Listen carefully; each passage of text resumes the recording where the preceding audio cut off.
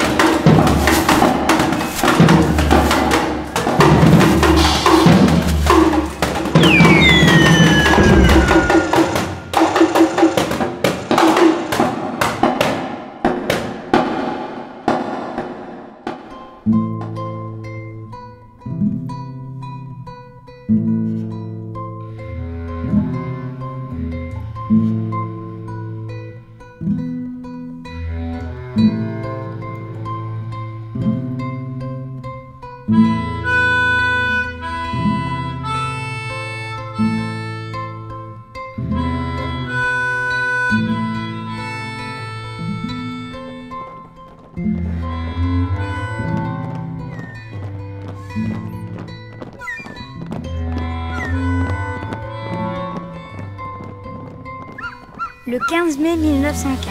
Chère Maria. La semaine dernière, on m'a changé de régiment.